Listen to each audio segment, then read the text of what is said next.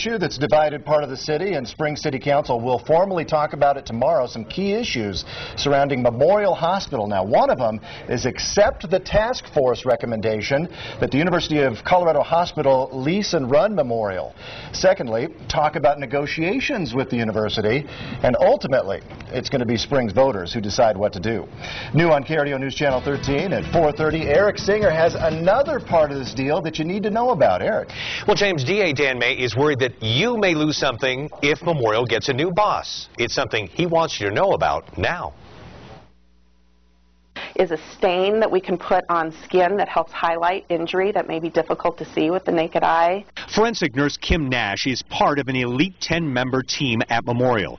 Colorado Springs, the first in the state to have forensic nurses.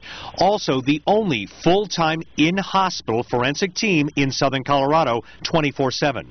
Specially trained registered nurses to process evidence from many violent crime survivors in El Paso and Teller counties. Partners to help prosecute prosecute crime. If my evidence is collected incorrectly, I may not be able to convict the rapist. DA Dan May wants a firm commitment forensic nurses like Kim are going to be part of Memorial's future, whoever is in charge.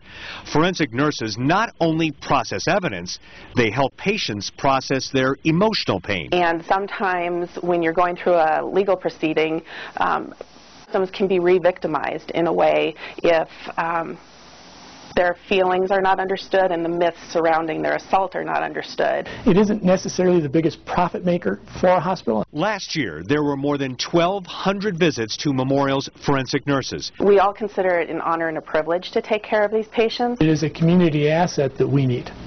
And I called the University of Colorado Hospital to get a firm commitment about the forensic unit's future. All the spokesperson would tell me via email was, we plan to continue this program at Memorial Hospital as a service to the Colorado Springs community. Of course, I'll keep monitoring it. All James? Right. Some good information.